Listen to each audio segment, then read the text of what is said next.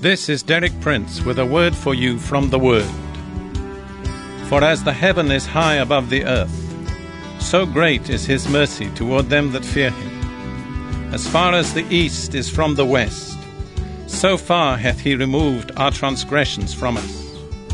The psalmist David there is trying to picture the immensity of God's love and God's mercy, and he compares it to the height of heaven. Probably today we're in a better position to understand that than when David wrote those words. For astronomers have spoken to us of countless millions of galaxies, all far greater than the galaxy which our sun is part of.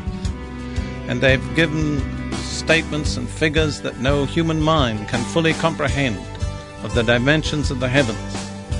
And David says, just as great as those dimensions of the heavens, so great is God's love and mercy toward them that fear him.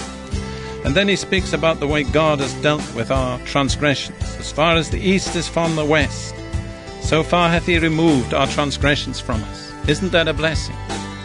David could have said as far as the north from the south, but that's a fixed distance. But when you come to the distance from east to west, when you move east, you never find the east. No matter how far east you go, you can still go further east. You never catch up with the east. And move west, you never catch up with the west. And that's how far God has removed our transgressions from us. No matter how much we may go after them, He's put them in a place where we can never find them again.